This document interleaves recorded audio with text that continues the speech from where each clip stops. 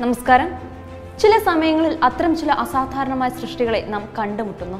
അവ നമ്മുടെ കൺമുന്നിൽ കണ്ടാൽ പോലും വിശ്വസിക്കാൻ പ്രയാസമാണ്. അതേസമയം ഭൂമിയിലുള്ളതുപോലെ ആഴക്കടലിന്റെ ആഴത്തിൽ പലപ്പോഴും വിചിത്രമായ ഒരു സൃഷ്ടിയോ മറ്റോ കാണപ്പെടുന്നു. ഇന്തോനേഷ്യയിലും സമാനമായത് സംഭവിച്ചു. ഇവിടെ ഒരു മത്സ്യത്തൊഴിലാളി മനുഷ്യമുഖമുള്ള ഒരു സ്രാവിനെ പിടിച്ചിരിക്കുന്നു.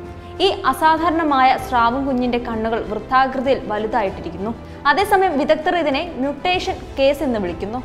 അപൂർവമായ ഈ മത്സ്യക്കുഞ്ഞിനെ വിൽക്കാൻ വിസമ്മതിച്ച അബ്ദുള്ള നൂറിൻ അതിനെ വീട്ടിൽ വളർത്താൻ തീരുമാനിച്ചു. ഈ കുട്ടിയെ കാണാൻ ദിവസവും ആളുകൾ എത്തിച്ചേരുന്നു. ഈ സ്രാവിന്റെ കുഞ്ഞിനെ വാങ്ങാൻ ആഗ്രഹിക്കുന്നവർ അയൽക്കാർ ഉൾപ്പെടെ നിരവധി പേരുണ്ടെന്ന് അബ്ദുള്ള നൂറിൻ പറയുന്നു. പക്ഷേ എല്ലാവരുടെയും നിർദ്ദേശം ഞാൻ നിരസിച്ചു. ഈ സ്രാവിനെ കാണാൻ എന്റെ വീട്ടിൽ ഒരു വലിയ ജനക്കൂട്ടമുണ്ട്.